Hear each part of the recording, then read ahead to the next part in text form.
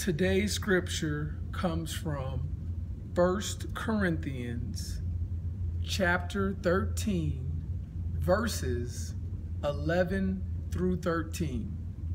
1 Corinthians chapter 13 verses 11 through 13.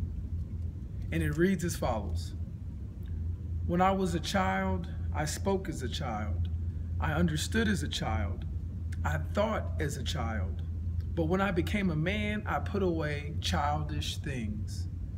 For now we see in a mirror dimly, but then face to face. Now I know in part, but then I shall know just as I also am known. And now abide faith, hope, love. These three things, these three, but the greatest of these is love. As I read that, um, I was kind of hung up when it says, For now we see in a mirror dimly, but then face to face. When I woke up this morning, I put this shirt on and I looked in the mirror and I thought I was looking good. I thought I had everything together. But as you see, I've accidentally put it on inside out. But when I look in the mirror, it looks like it's on properly. The mirror makes it look, the mirror shows it to you backwards, but when I look at it, it looks forward. So I think I look good. And it wasn't until I got around other people that they could show me I was wrong.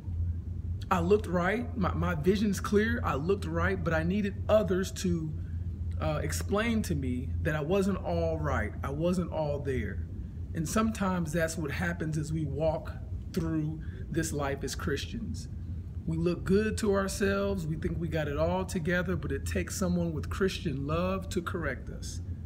I ask that uh, my Christian brothers and sisters out there listening to this, watching this, I ask that we do the same, that we correct others in love, and we also notice that as perfect as we think we are, as perfect as we look when we wake up in the morning, there is something that someone can tell us if they look at us face to face, as God will look at us face to face and correct us, and know that He corrects us because He loves us.